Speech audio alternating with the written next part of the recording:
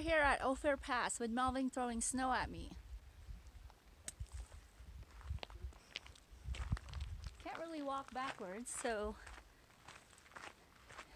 Ah! You almost caught me there. Don't worry, like a. And then there's Papa.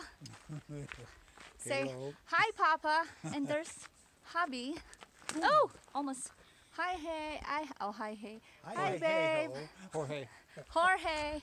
And then there's Melvin throwing uh, snow at me. And almost connecting.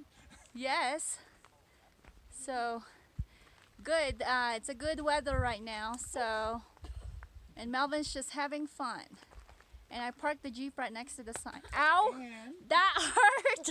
well, hurry up, let's leave him up there. Okay, I guess we're going, leaving Melvin. We'll pick So- him up later. Not that much snow, but there's still huge pile of snow where Melvin is. Alrighty, till our next stop. All right, Melvin, say hi. Say hi, Melvin. Hi. All right, that's it for now. And who's this movie for?